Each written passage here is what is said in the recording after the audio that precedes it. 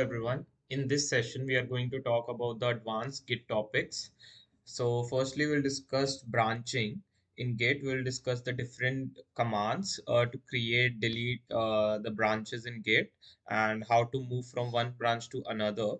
Then we will discuss basically the flow, uh, like the different uh, branches that we create in uh, Git for representing our different sandboxes. Then we'll discuss the merging, like we'll we'll merge one branch to the other branch. Let's say we are we are merging our feature branch to our uh, sandbox branch or production branch. We'll discuss that, and within the merging, we'll see what is a merge conflict uh, and how Git handles that merge conflict. And uh, sometimes we'll have to auto resolve those merge conflict. We'll see that.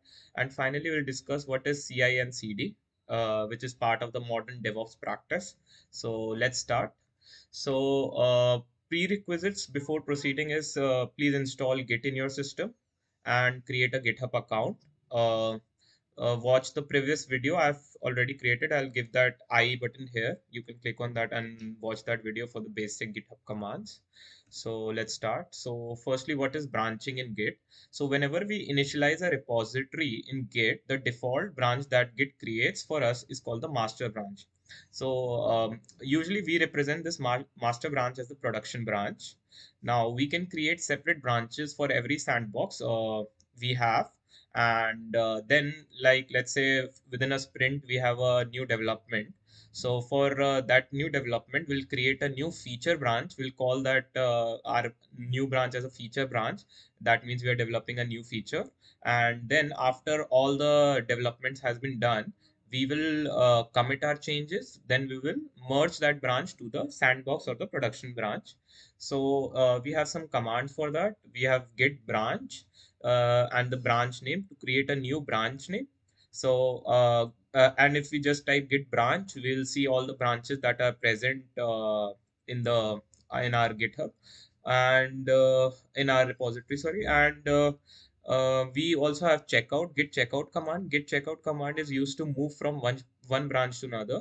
Let's say we are currently in our feature branch. Now we want to move to our sandbox branch and see how the code looks like. Uh, uh, like what is the current working directory for that uh, uh, the sandbox branch. So we can use the git checkout like to move from one branch to another.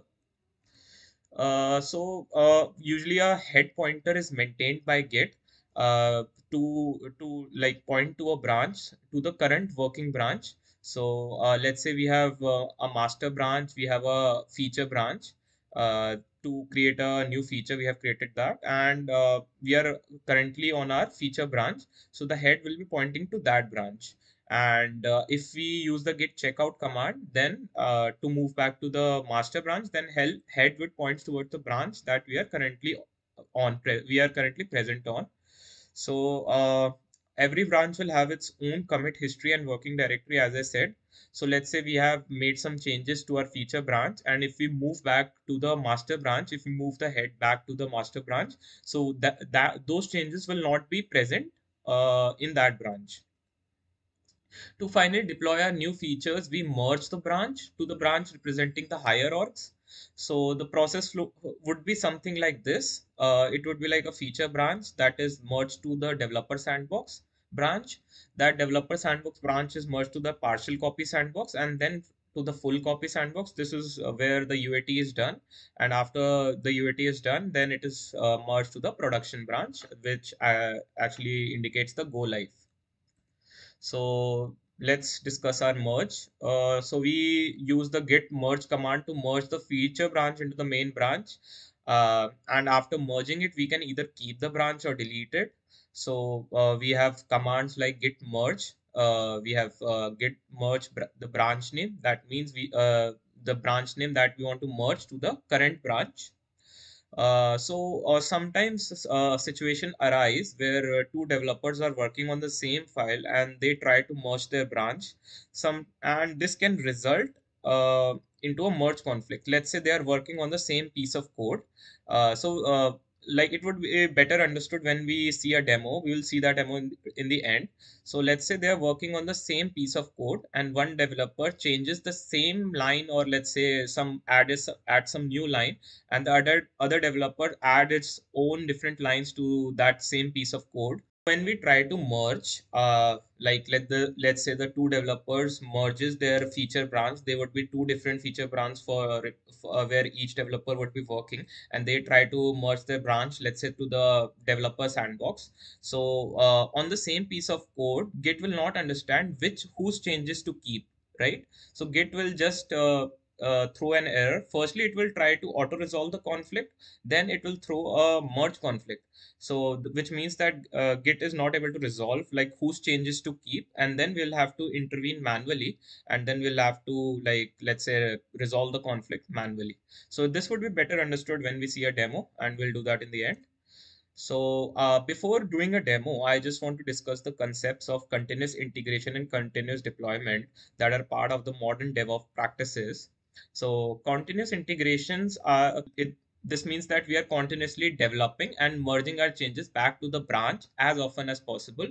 The developer's changes are validated by creating a build and running automated tests against the build.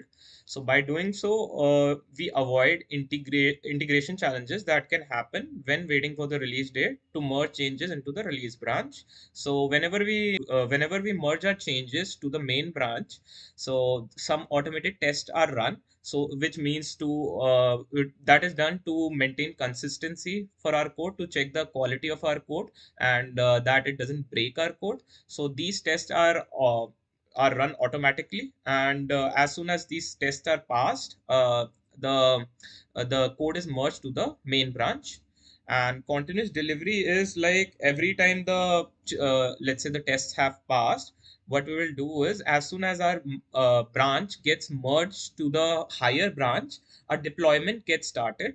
And that deployment uh, can only be stopped if there is a failed test case. Or our tests are passed then the then only the deployment will fail. So continuous deployment is an excellent way to accelerate the feedback loop with our customers and take pressure off the team as there isn't a release day anymore. Developers can focus on building software and they see their work go live minutes after they are finished working on it. So these two are the modern practices that uh, mostly projects are going on uh, right now. So now let's see a demo using VS Code.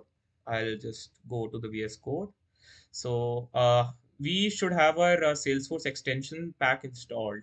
And I've already created a SFDX project. I've named it demonstrate branching git. So firstly to uh, showcase our branching and to showcase the merging uh, in git, we'll first create a Apex class. Let's create a Apex class. Uh, let's name it calculator class.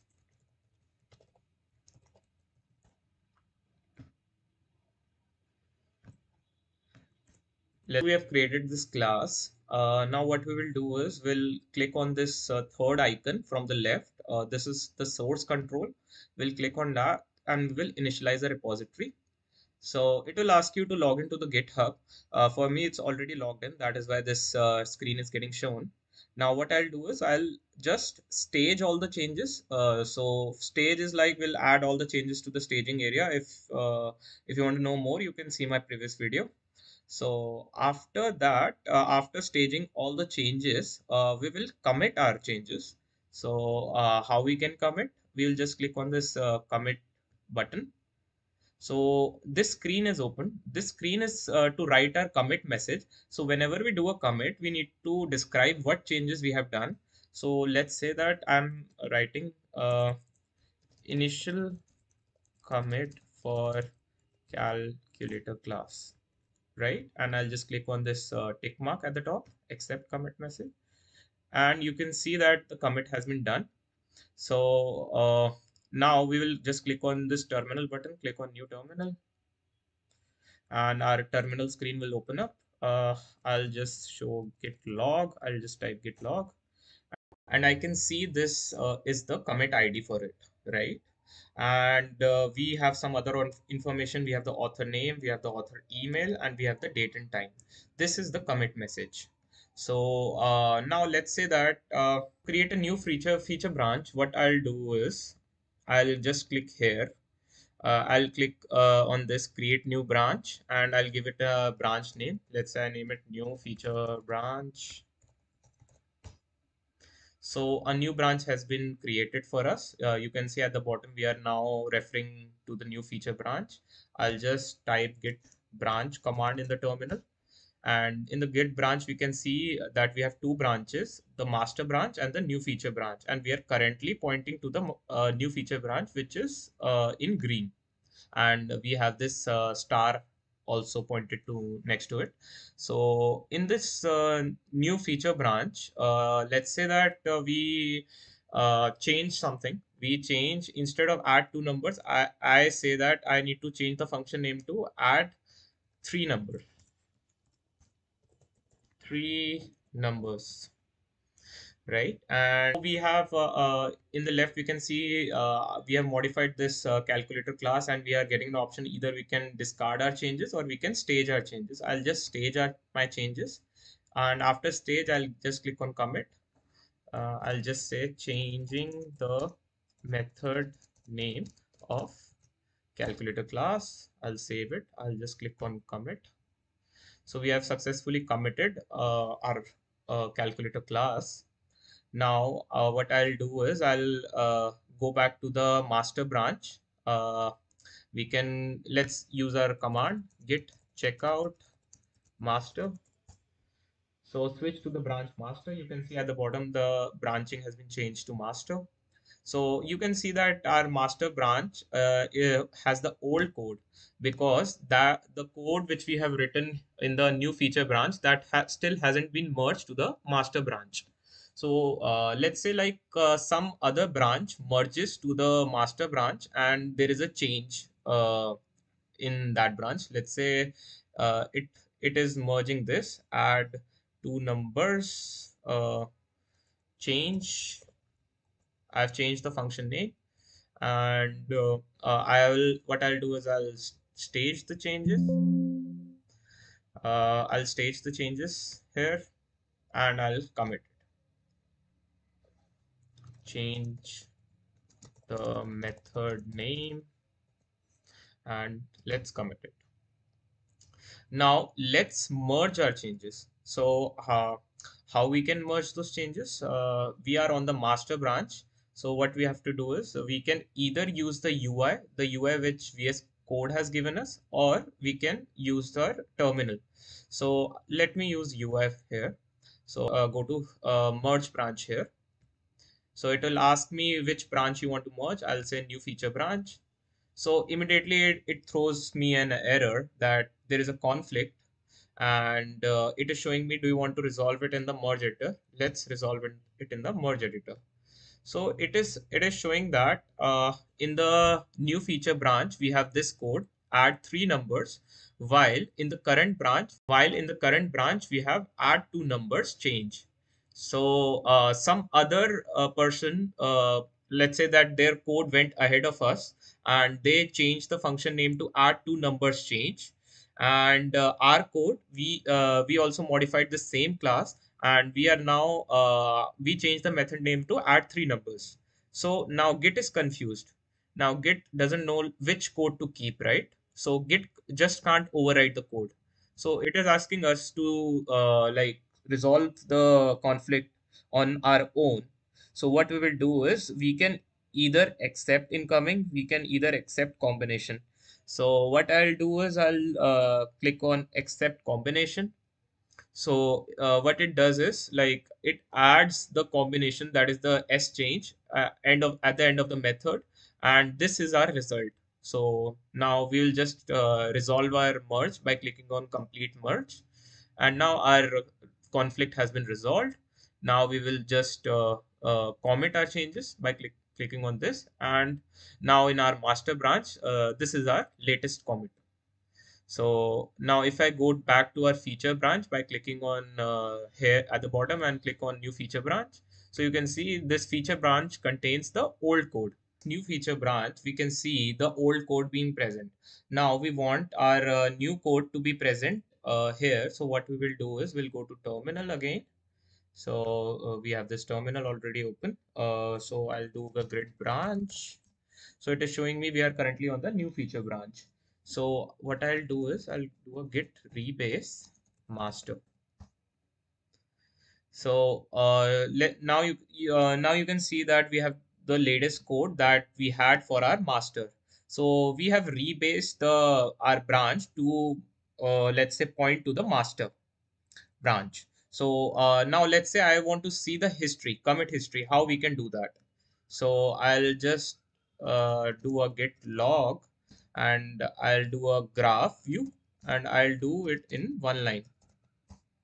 So you can see that currently the head is pointing to the new feature branch and uh, that new feature branch and master are on the same level that there is no difference between new feature branch and master.